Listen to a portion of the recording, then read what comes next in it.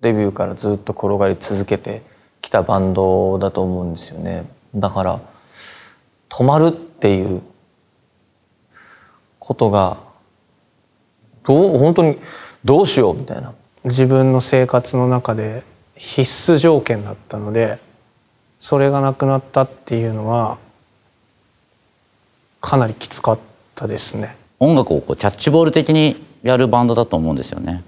だから要はそこのインプットがなくなっちゃうことがやっぱすごいしんどかったし音楽とかライブとか、まあ、ボディーズとしての自分が今まで本当好きだったんだなっていうのを気づいたというか。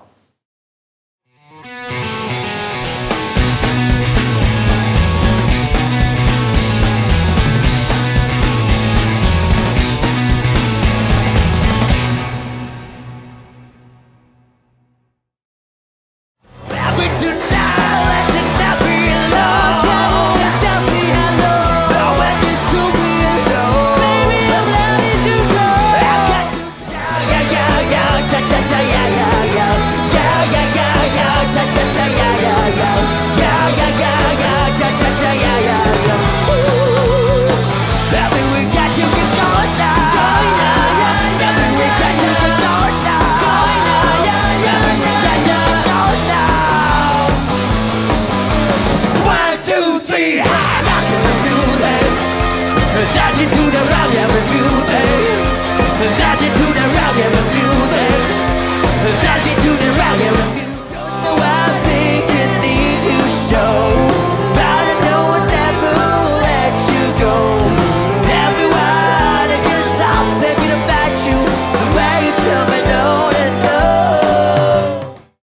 無観客ライブ、はい。配信ライブ初でしたね、はい。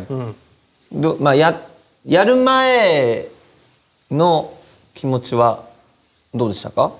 やる前。そのうん当日無観客でやるっていうあ配信も含めて、まあ、でもなんかひライブ自体も久々っていうのもあるし、む最初はちょっと、まあ、無観客ってそのなんていうの熱のぶつける先がさ、どうなっちゃうんだろうって不安もあったけどやってみたらやっぱ4人で演奏するっていうのがやっぱ楽しかったなって思いましたよ。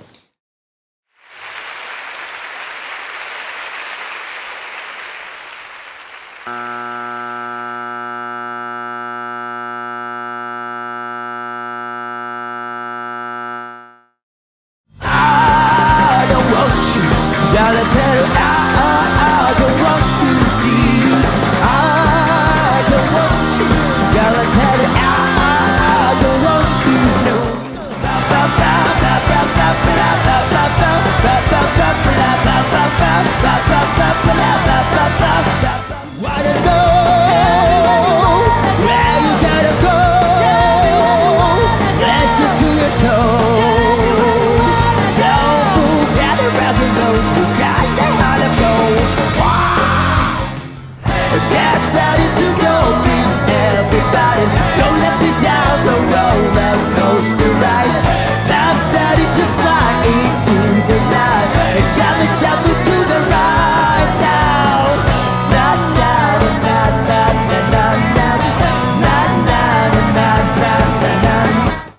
っぱ目の前に自分たちのねこう出したものにすぐ返してくれる。ものがこう目に見えるっていう感じることができるっていうのは全然違いますよね。これ僕今でもはい。本当覚えてるんですけど、SE になって出てって、はい。みんなで最初バーって鳴らした時に目の前のお客さんうるさってやったんですよ。あ向こうも生音久々だしね。こんな大きかったってってなってそれ見てめっちゃ感動しちゃったのを覚えてます。Oh,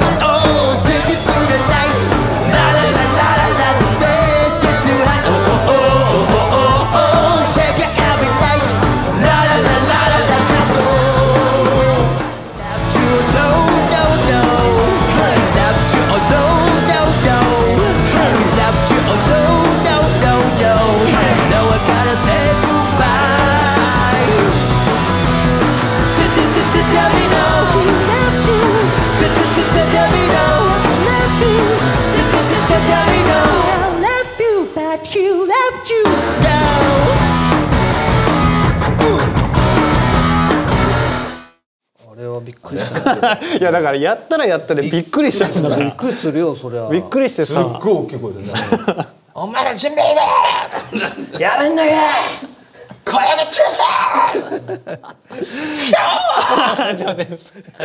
北斗の拳みたいな。最高でしたね。いやでもあれもう笑うわ。まあもうやるってなっちゃったからさやったけどあれはあれで良かったと思って、うん、自分でやり終わったただもうできないなと思って。なんでね